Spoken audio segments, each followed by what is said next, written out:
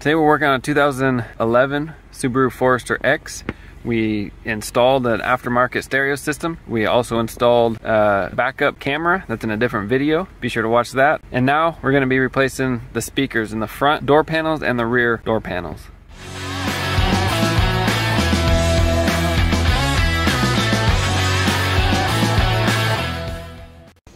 To remove this door panel, first thing we wanna do, there's this thing with a screwdriver, pop it out, and then here too, pop that out and there's two Phillips screws. We want to get those out first.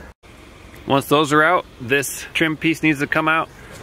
You can see in the front, it has a spot for a screwdriver. You can use a screwdriver or something to get in there. It's in there pretty tight, so you might feel like, oh, I'm gonna break something. Just keep, keep pulling, it'll come out. They're pretty stiff in there.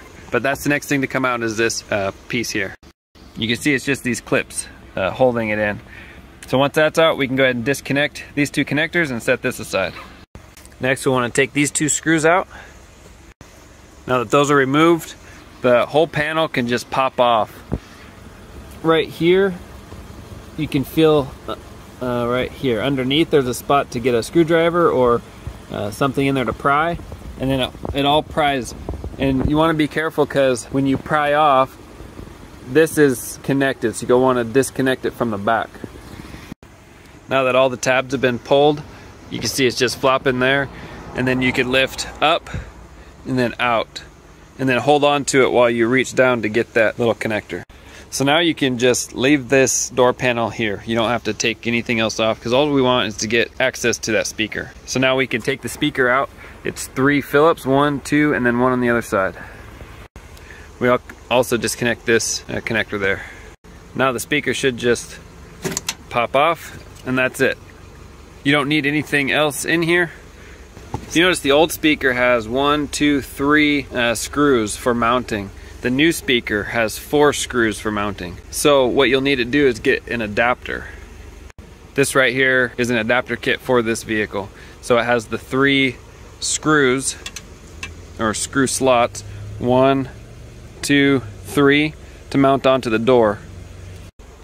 So that's what the adapter plate looks like on the vehicle and I don't have it tight because I have a harness adapter. It just makes installation so much easier. These are on Amazon or, or anywhere you can find them online. But this plugs into the factory harness and then you have the two ends for the speaker. So before you tighten this plate down, you just want to slide these back behind that plate because the speaker will let me show you this. These speaker connectors will be recessed in here so it has to you have to route this behind the plate. And it gives you enough space behind there that when you tighten this down it won't squish the wires so don't worry about that. But it does need to route behind the plate. So now the harness is hooked up. It's hooked to the speaker. You can see there's plenty of room here. So now we'll just put the speaker in here and then you'll see it has uh, little holes every so often. So you want to find the four that match up and then they give you uh, these little screws that'll just screw right in and that's it. So that's it mounted. You don't need the grill on it. The door panel acts as a grill. Test the speaker before you button everything up and that's it. This is the driver's side, passenger side is done the exact same way. So now the easiest way to put this door panel back on is by removing this little wing thing here. There's just one clip inside. So pull on it, it'll come out. So now the panel can go on the top first. It'll rest in here in this little window slot and then line up where the pins go and then just push it in and it'll all lock together. So now the back panel comes off very similarly you have that and that screw to start with. So those two to start, and then we'll pull this up and off. Once you have those two screws out, just like the front, you want to pop this off. And it's the same way, just up on the front, and it's in there pretty good, so just give it a nice tug and it'll pop out. Once that's loose, then you'll have this one connector you pull out and then set this aside. This will give you access to those two screws. We'll pull that out and then on the side, let's see, on the inside, yeah, right here, it gives you a lip that you can pull on. So just like the front, it's just clipped in. So we'll get these two off and then we'll pop the panel. So now that the panel's loose, we'll want to take this off. It pulls from this side, kind of like that, out. You could pull it straight out, but you, there's there's like a little hook on the back side that hooks it in. So it's best to pull like that and then out. So you see that piece has a one center clip, but it also has, you can see right here, that little lip, and that holds it in right here and up here. So if you just pulled straight out, sometimes those will break. But if you pull like this and then out, it'll come out.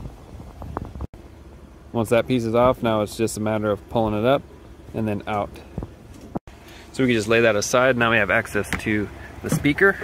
And again, there's three, one, two, and then one on the other side. We'll pull that out.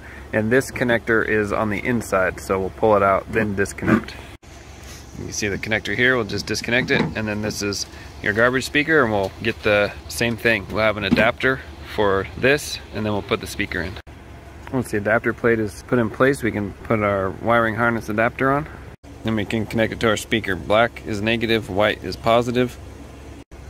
Once the speaker is bolted in, go ahead and test it before we put the door panel back on. To put the door panel on, you put the top in first so it can rest behind the slot in the window.